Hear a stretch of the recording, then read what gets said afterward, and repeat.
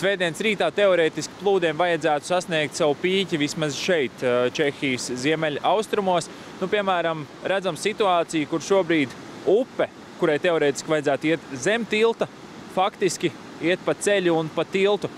Noslaucītas arī nu jau te jau pie dažādām mājām esošās sētas, dažādas koku atlūzas, viss milzīgā ātrumā virzās uz to pusi, kur savukārt atrodas Jesinekas pilsēta. Un tur šobrīd ugunsdzēsēji un policisti braukt neļauj, jo faktiski visa pilsēta jau ir aplūdusi. Arī mūsu filmēšanas grupa šobrīd zināmā mērā iesprūdusi, jo ceļš aplūdis arī otrpus kalnam. Šeit apmēram 150 tūkstoši maisaimniecību palikušas bez elektrības, internets te ir, te nav, tāpat arī mobilie sakari dažkārt ir, dažbrīd arī nav. Un saprotam iemeslu dēļ, protams, te uz vietas nav nekādu vietējo iedzīvotāju, visi ir evakuēti. Atskaitot dažus, kas ierodas no viesnīcām, kur šonakt palikuši, tikai ar mērķi apskatīt savus īpašumus, novērtēt plūdu sekas. Līdz brīdim, kad varēs ievākties atpakaļ vai vismaz uzsākt remontu, kas būs nepieciešams pēc plūdiem, vēl jāpagaida.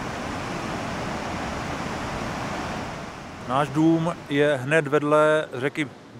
Mūsu māja ir tieši blakus Bielas upei, tā izgājusi no saviem krastiem, jo no kalniem nāk ļoti daudz ūdens. Vakardien visu dienu mēs skatījāmies uz ūdens līmeni upē. Palikām šeit kādu laiku, bet tad ūdens uzkāpa tik augstu, ka mēs paņēmām pirmās nepieciešamības lietas un braucām prom no ciemata uz drošāku vietu augšu kalnā. Tagad mēs esam te apskatīti, kā mūsu māja pārcietusi nakti. Pēc vairāku stundu gaidīšanas tiekam pārlaist pāri upei. Skati, kas pavērst tuvējā ciematā, šaušalīgi. Šeit upes straumi nav žēlojusi pilnīgi neko aiznest māju fasādes, pat jumti redzējām arī apgāstu automašīnu. Tālāk turpinām ceļu uz Jesinekas pilsētu, kas iedzīvotāju skaita ziņā līdzīga Dobelei. Aby se nedostala voda nahoru.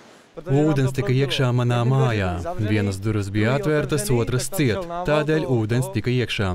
Esmu bijis nomodā visu nakti. Es pavadīju visu nakti evakuācijas centrā, palīdzēju cilvēkiem un viņu bērniem naktī. Tas ir briesmīgi, es pat nezinu, cik slikti ir citiem. 1999. gadā upes gultne nebija tik liela. Tagad upe ir platāka, un tas ir tā, kā viņi saka, simtgades, varbūt tūkstošgades plūdi. Tā ir katastrofa.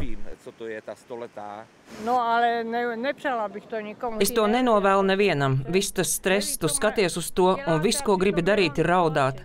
Mans meitas māja tika renovēta pēc pēdējiem plūdiem, bet tagad atkal viss ir sagrauts. Ūdens 1997. gadā nebija tik spēcīgs, tagad trauma ir stiprāka. Mūsu pagrabs ir noplūdis, viss, kas mājā ir noplūdis. Lai gan teorētiski lielākais ūdens pīķis jau sasniegts un dažviet tas pat sāk samazināties, kā redzam, joprojām turpinās aktīvas cilvēku evakuācijas operācijas. Tieši tādēļ dienestiem arī tuvākās dienas nesolas būt vieglas. Turklāt patiesās vētras sekas daudz viet būs apzināmas tikai tad, kad ūdens līmenis upēs samazināsies. Krišs Kairs Mārs Justs, Latvijas televīzija.